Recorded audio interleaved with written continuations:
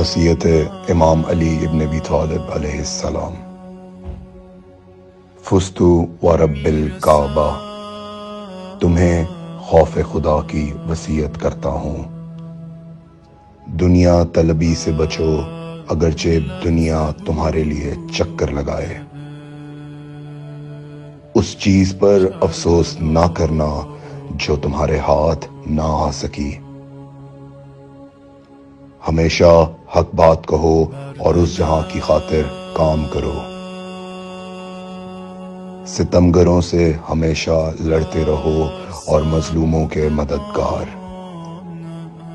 تمہیں اور اپنے تمام فرزندوں اور عزیزوں اور ہر اس شخص کو وسیعت کرتا ہوں جس تک میری یہ وسیعت پہنچے۔ خدا کا خوف کرو، خدا کا خوف کرو۔ اپنے کاموں کو منظم رکھو اور ایک دوسرے کے درمیان صلح اور آشتی سے کام لو۔ کیونکہ میں نے تمہارے جد صلی اللہ علیہ وآلہ وسلم سے سنا کہ فرمایا، لوگوں کے درمیان صلح کروانا سالوں کی نماز روزے سے بہتر ہے۔ خدا کے لیے، خدا کے لیے۔ یتیموں کا خیال رکھنا، انہیں کبھی بھوکا، کبھی سیر نہ چھوڑنا۔ دیکھو، انہیں یوں ہی نہ سمجھنا۔ خدا کے لیے، خدا کے لیے پڑوسیوں کا خیال رکھنا۔ ان کی سفارش پیغمبر نے کی ہے اور بارہا ان کے بارے میں فرماتے رہے، یہاں تک کہ ہم گمان کرنے لگے کہ شاید وراثت میں بھی ان کا حصہ قرار دیں گے۔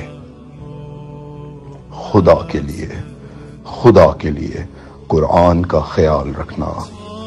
کہیں ایسا نہ ہو کہ دوسرے لوگ قرآن پہ عمل کرنے میں تم پر سبقت لے جائیں۔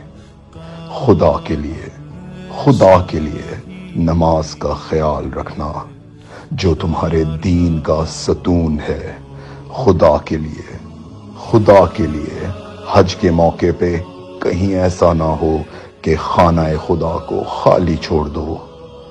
جتنے دن بھی اس دنیا میں ہو، اگر بیت اللہ کی حرمت کا خیال نہ رکھا، تو سخت عذاب میں مبتلا ہو جاؤ گے۔ خدا کے لیے، خدا کے لیے۔ راہ خدا میں اپنے نام و جان اور زبان کے ذریعے جہاد کرتے رہنا اور تم پر آپس میں مل کر رہنا اور ایک دوسرے کو معاف کرنا ضروری قرار دیتا ہوں۔ کہیں ایسا نہ ہو کہ ایک دوسرے سے منہ موڑ کر تعلقات ختم کر لو۔ امر بالمعروف و نہیں المنکر کو ترک مت کر دینا، ورنہ بدترین لوگ تم پر حکمران ہو جائیں گے۔ اس وقت دعا کرو گے، مگر دعا قبول نہیں کی جائے گی۔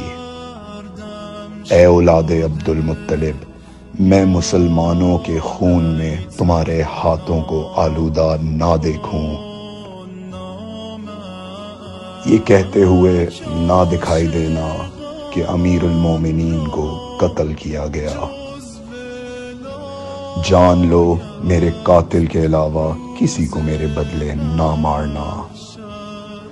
اور دیکھو، اگر میں اسی ایک ضربت میں مارا گیا، تو اسے بھی ایک ہی ضربت لگانا۔ اور اس کے ہاتھ، پیر اور دیگر اعضاء کو مت کاٹنا۔